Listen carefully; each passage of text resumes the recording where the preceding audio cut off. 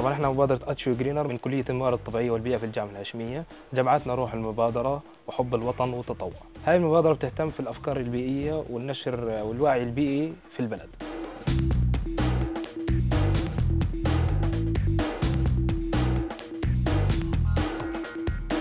إحنا ب HU Greeners آه، قمنا بكثير من النشاطات آه، والمشاريع البيئية اللي بتخدم اللي بتخدم المجتمع والبيئة وكان من أبرزها يعني المشاريع اللي إحنا نفذنا- نفذناها وطبقناها هي مشروع زراعة الجدران. وفي كمان مشروع أحضر كوبك معك وطبعا هذا مشروع لقى اهتمام كثير كبير من الطلاب والدليل إنه الفيسبوك يعني شفنا إقبال عليه كثير كبير. وكمان ركزنا على موضوع التدريب والتوعية. آه، سواء لطلاب المدارس سواء لطلاب الجامعات آه، قمنا ب آه، عمل تدريبات متقدمة في بعض المشاكل جدا بتهم المجتمع الأردني المشاكل البيئية طبعا. ومن أبرزها مثلا مشكلة إعادة تأهيل حوض نهر الزرقاء والمخلفات الصلبة بشكل عام. آه، والحمد لله يعني كلها واجهت قبول آه، وكان جدا مؤثرة نحاول نأثر أكبر قدر على المجتمع. طبعا كل الناس اللي قدمنا لهم أعجبوا بأنه كيف إحنا مبادرة هي تطوعية.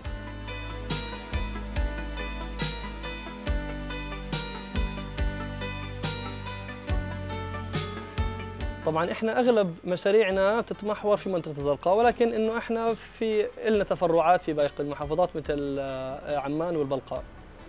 آه، بالزرقاء إحنا كثير مركزين عليها. بنحاول إنه نطلع بحلول للمشاكل بحلول يمكن تطبيقها في أراضي الزرقاء. وكان من أحدها مشروع مشروع green آه، ال green wall أو الجدران زراعة الجدران. طبعا إحنا هذا اخترنا هذا المشروع بما انه لافتقار الزرقاء للمناطق المسطحة على أساس إنها تنزرع.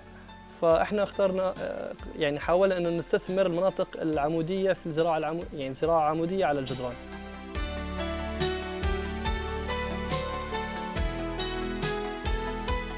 مشروع زراعة الجدران آه، زي ما بتعرف هلأ إحنا في آه، اكتظاظ سكاني في هاي المناطق مناطق الزرقاء ومنطقة منطقة الزرقاء ومنطقة عمان. فإحنا بدنا نستغل المناطق العمودية عشان نزرعها بدل ما نستغل المناطق الأفقية لأنه في اكتظاظ في السكان.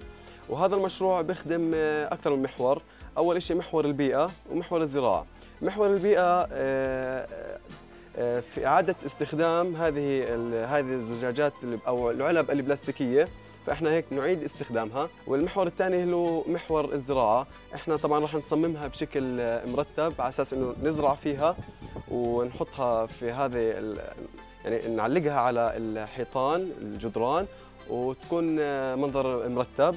طبعا هاي راح تكون متكيفة راح تتكيف مع ال- ال- الأجواء اللي هي موجودة فيها.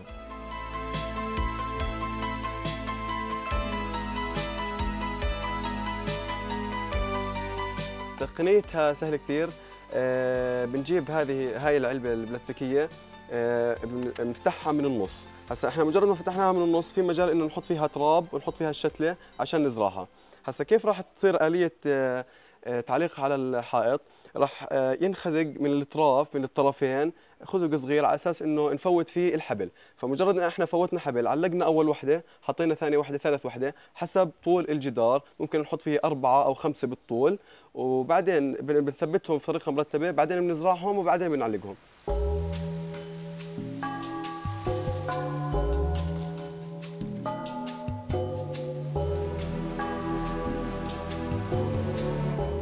طبعا آه، هذا المشروع طبقناه في أكثر من مكان في مدارس في هيئات حكومية في هيئات خاصة طبقناه فيها ووجدنا إقبال كثير كبير.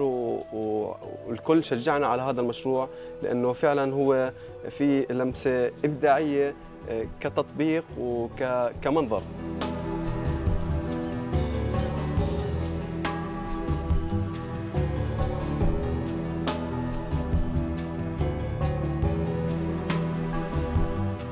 طبعا إحنا بمجرد ما نتخرج من الكليه إن شاء الله آه، راح نسجل في نقابة المهندسين الزراعيين آه، فحتى نضمن استمرارية شغلنا وخدمتنا للمجتمع آه، راح نسجل جمعية إن شاء الله تابعة لنقابة المهندسين الزراعيين آه، ونستمر في شغلنا ولكن إن شاء الله راح يكون على مستوى كثير أكبر وعلى مشاريع تخدم الوطن بشكل كامل إن شاء الله وتكون شاملة والكل يسمع فيها والكل يستفيد منها بإذن الله.